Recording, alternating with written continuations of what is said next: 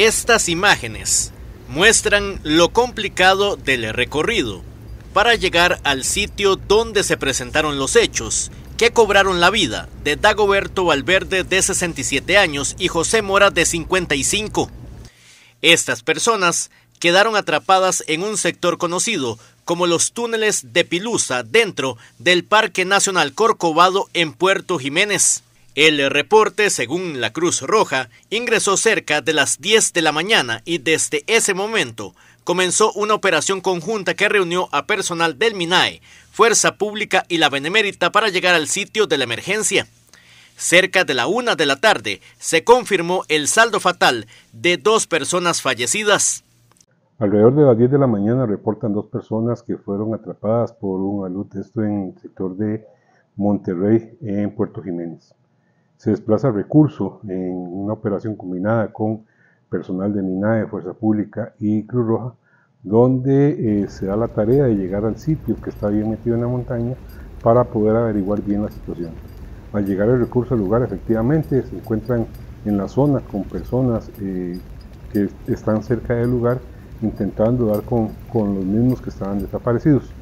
Al ser aproximadamente la 1 y 30 de la tarde, logran ubicar los dos, las dos personas que estaban desaparecidas debajo de la luz y eh, con autorización de, las autoridades se extraen los mismos hacia una zona segura en el sector de Puerto Jiménez.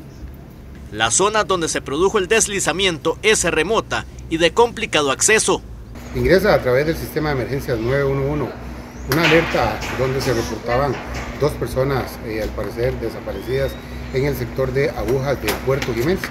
Eh, se coordina con personal de Fuerza Pública y Minaet el ingreso de personal de Cruz a la zona, donde se ubican dos personas adultas, hombres, eh, lamentablemente sin signos vitales a nuestro abordaje.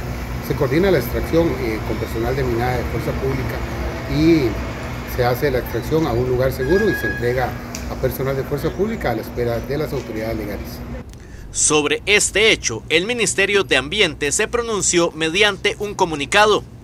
Funcionarios del Área de Conservación OSA del Sistema Nacional de Áreas de Conservación recibieron una alerta en horas de la mañana por parte de un individuo, el cual les indicó sobre dos hombres, los cuales quedaron atrapados luego de un derrumbe en el sector de los túneles de Pilusa dentro del Parque Nacional Corcovado. Este es un sitio que no está habilitado a la visitación, indica el comunicado. Los funcionarios guardaparques, en conjunto con Cruz Roja Región Brunca, iniciaron con el protocolo de búsqueda y rescate de las personas, internándose en el bosque y al llegar al sitio, el cual se encuentra a más de tres horas del centro operativo El Tigre en Puerto Jiménez, los cuerpos de rescate declararon fallecidos en el lugar a dos hombres.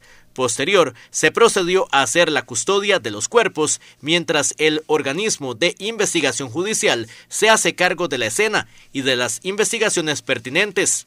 El caso quedó a las órdenes de las autoridades judiciales.